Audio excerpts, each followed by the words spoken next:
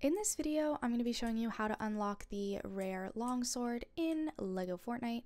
Be sure to watch this video until the very end to prevent any mistakes in the process.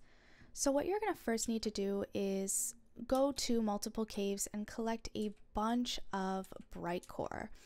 Now bright core grows near the lava and it looks like this. And once you do that, you are going to need to actually unlock the metal smelter, which is also going to need the resources that come from the blaster, which is also near the lava.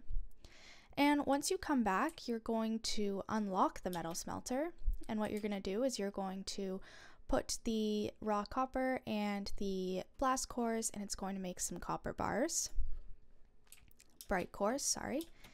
And then once you are done that, you're going to go to your crafting bench and once you have the copper bars in your inventory, you're going to be able to craft the rare longsword. That's all there is to it. Be sure to leave a like, comment, and subscribe to the channel. Thanks for watching. See you in the next video.